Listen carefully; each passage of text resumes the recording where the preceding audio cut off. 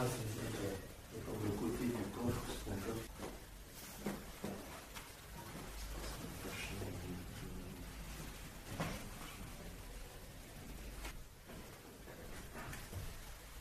Et elle serait devant ou devant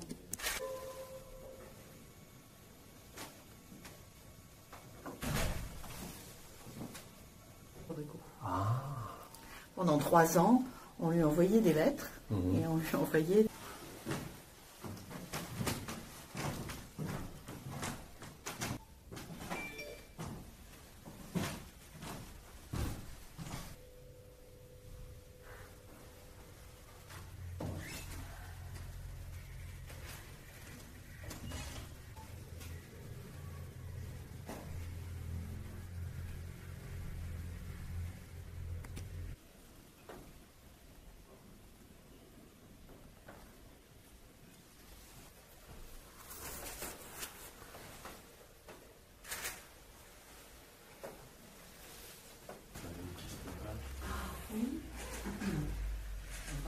pense que c'est mieux comme. hein. Ah oui, je vais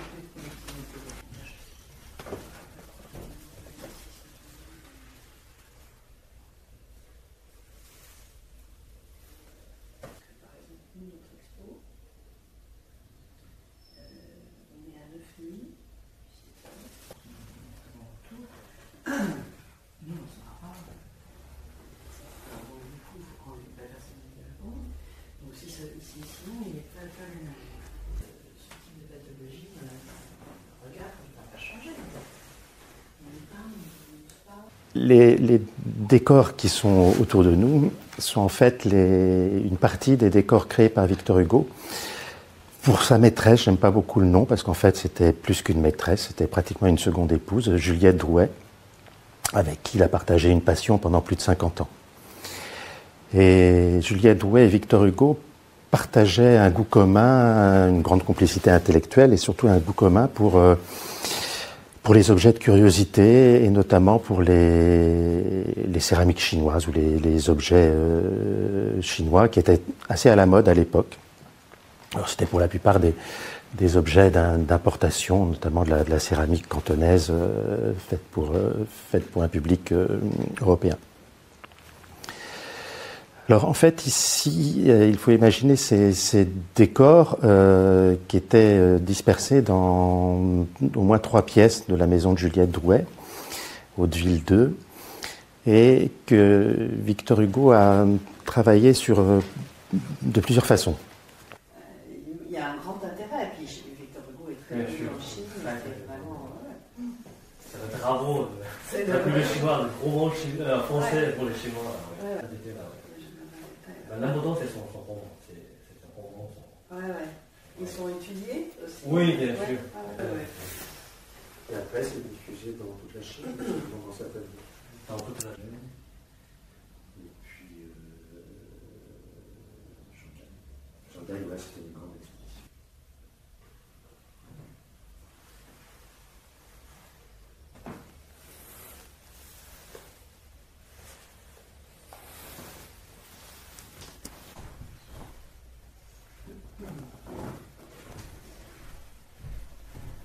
beaucoup euh, des touristes chinois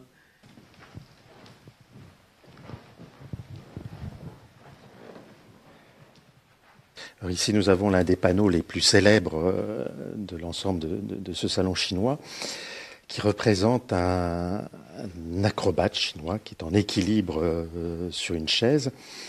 Et la lumière euh, dessine une ombre portée où on peut lire les lettres VH, qui est l'ombre des jambes, et H, l'ombre de, la chaise. Donc ce sont les initiales de, Victor Hugo. Euh, et c'est un panneau d'ailleurs où Victor Hugo est réintervenu lui-même pour les petits détails de, la fin qu'il a peint euh, par lui-même.